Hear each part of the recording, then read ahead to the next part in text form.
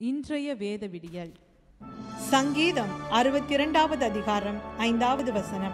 தேவனையே நோக்கி அமர்ந்திரு நான் நம்புகிறது அவராலே வரும்.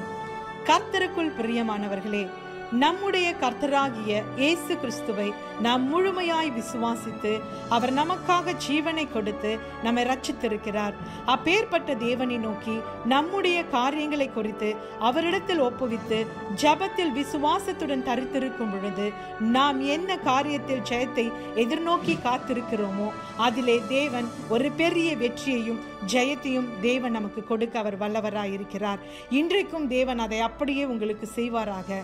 கர்த்தருங்களை ஆசீர்வதிப்பாராக. ஆமேன்.